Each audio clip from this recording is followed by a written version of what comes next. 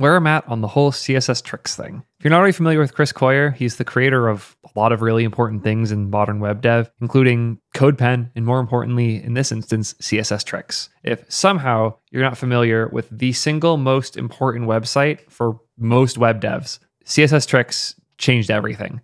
This site taught us so much stuff. I used to joke I would get the CSS tricks Flexbox URL tattooed because I was there so much. Like Chris and team's work on this site helped us modernize our CSS and styles to a level where it, was night and day. The amount I learned from this particular blog post is hilarious. They even sold it as a poster because of how good it was. Oh, they're not even selling it. You could download the high res poster for free. Had really good diagrams and comparisons to help you better understand how the container behaviors worked and how the child containers worked. Just detailed piece for piece with really good descriptions and diagrams.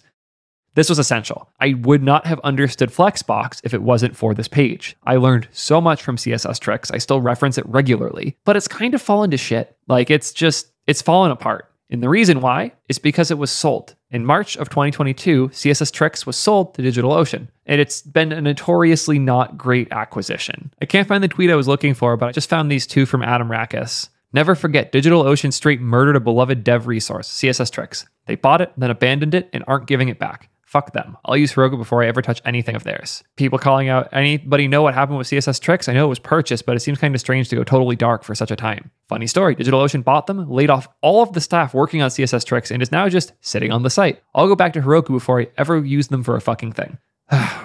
This kind of breaks my heart because I was not this anti DigitalOcean in the past. In fact, I'm going to show you guys something that's really important to me. The DigitalOcean posts for how to create a Minecraft server. Back in the day, this is, yeah, this is the one I probably read. Status deprecated. Cool. I don't care.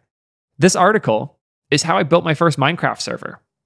It might have been a slightly older one, but I bring this up because DigitalOcean got me more into code by writing articles like this and helping me not just click a button and spin up a Minecraft server, but actually setting it up myself. And even though I didn't use DigitalOcean at the time, it got me in and it got me more familiar with their product, knowing they host servers, and in the future I could use them for it. This article and things like it were a huge part of their top of funnel. It's how users discovered DigitalOcean and started using it. And as they wanted to compete more with something like Vercel and less with something like Heroku, because Heroku died and Vercel didn't, they realized they needed to pivot more into the web direction. Part of how they planned to do that was using CSS tricks as a similar lever to what they had built here with their previous documentation and tutorials. The same way they were able to build a thing that got me to figure out what DigitalOcean was, they wanted to build a thing to help like my audience figure out what DigitalOcean is. And CSS tricks seemed like a shortcut there.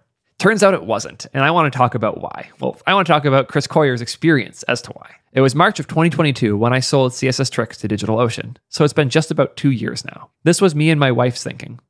Point one, the negotiated sale price was fair. Point two, they're a big company, a public one even, with tons of resources, and their clear stated strategy was to invest in content and community because that's where the top of funnel is, and it's good for their business. They didn't just talk this way, they were obviously investing in content and community. There's a chance CSS Tricks could have become better. Again, I agree with this, especially with their history of investing in content as a top of funnel. This makes sense. They were already decently well known for good content in DevOps and backend, but were missing solid front end content. Filling this gap made sense. Yes, checks out.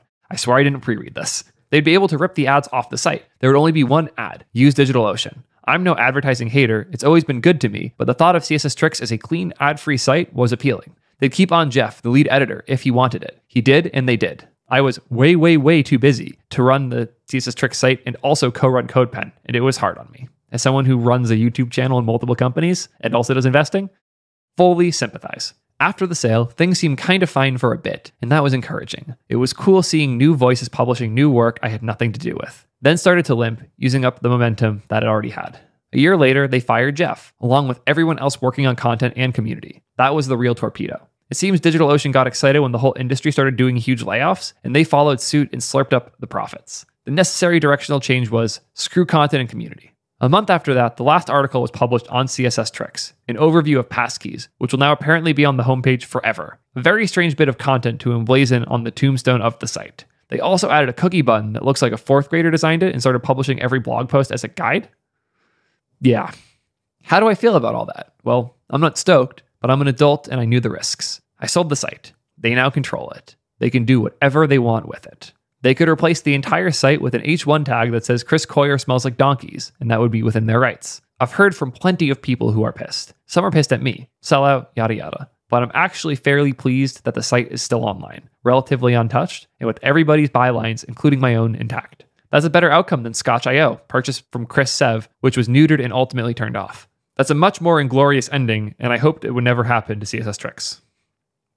Hopefully that doesn't happen, although during my three month consulting period, I know they were very interested in porting the content to their own internal static site generated system. As someone who's built a lot of SSG powered sites and also a lot of WordPress sites, all I can say is that CSS Tricks is WordPressy as hell, and I cannot possibly imagine a conversion that maintains any level of quality as being worth the effort. A lot more people are pissed at DigitalOcean, people saying they'll never use them again, and are generally upset that they take such a useful asset and do nothing with it, a void in the industry that doesn't sit right.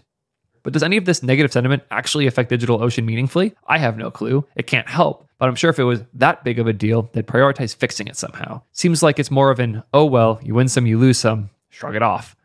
It's almost certainly not acting as the strong top of funnel player that they were originally hoping for. It's kind of funny that the goal of the purchase was to introduce more web devs to DigitalOcean in a positive way. And let me know in the comments if this is the first time you've heard about DigitalOcean, because I'm sure it is for a lot of you, and it's certainly not in a positive light obligatory if you're looking for something like them. Railway seems pretty cool. You also have Render and Fly. And if you just want to host a website, I'm obviously a big Vercel fanboy. Anyways, back to the article. I bet you could probably guess all of that or piece it together from things that are publicly said. But what you probably didn't know is that I tried to get it back. Oh, that's a huge twist. Okay, strap in, boys.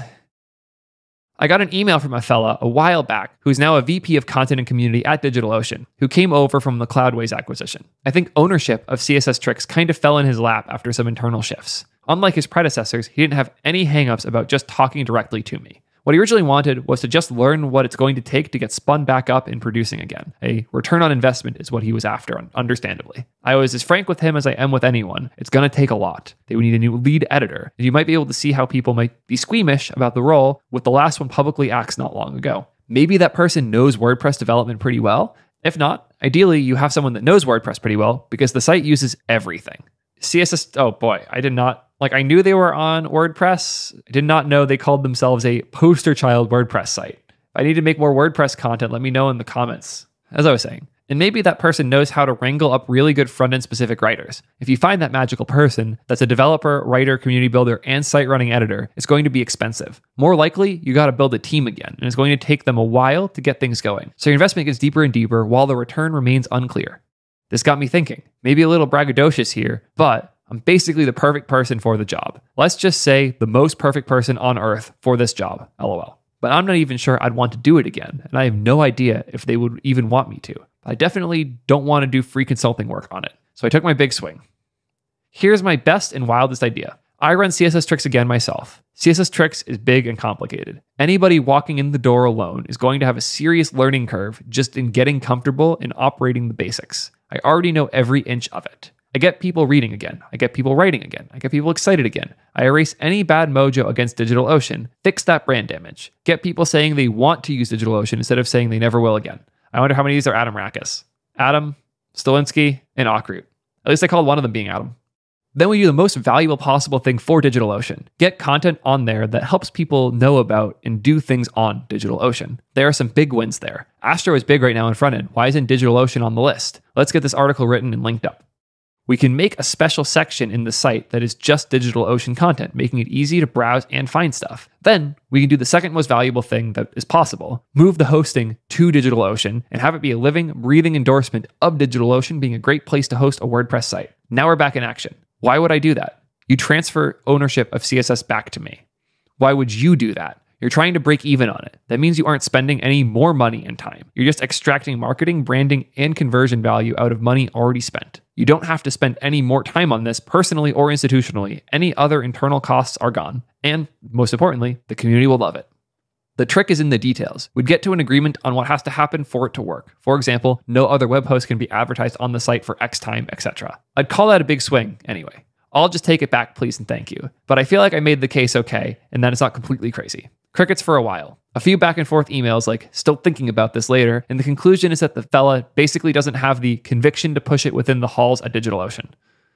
Understandable, really. I wouldn't want to be handed a huge golden nugget by my boss and then asked for a meeting and be like, I think we should give it back to the leprechaun. That's a pretty great quote. When I pitched that, I wasn't even 100% sure I wanted it, mainly for stress reasons. But I'm sure I could have figured out a way to run a more minimal ship with reduced stress, and the site would be in a much more pleasant place. Anyway, if you want to know some more basic information about passkeys, I know a site you can check out. That's a hilarious ending. What a journey. Thank you, genuinely, Chris. Not just for this, but for all the effort you put into building CSS tricks in the first place. I can't even imagine how much it hurts seeing something you pour that much effort into and get treated this poorly. I know you know it's not towards you, but that doesn't mean it feels good. And it is clear you're putting the effort in to try and make it hurt less. And uh, I have nothing but respect for that. I hope the site's archived well enough that if something does happen to it, we can still access the resources and maybe repurpose the best ones in other places that are better homes for it. But it's sad that it seems like CSS Tricks is being left to die at Dio. Don't know what lessons we have here other than be careful who you sell to, I guess. I don't even know if the sale was wrong though, because he made the money and this risk always exists. yeah, this just sucks. That's all I got this time, guys. Uh, let me know how you feel about it, because I I'm not feeling great. It is what it is. I'll be careful who I sell the YouTube channel to, I promise. Peace, nerds.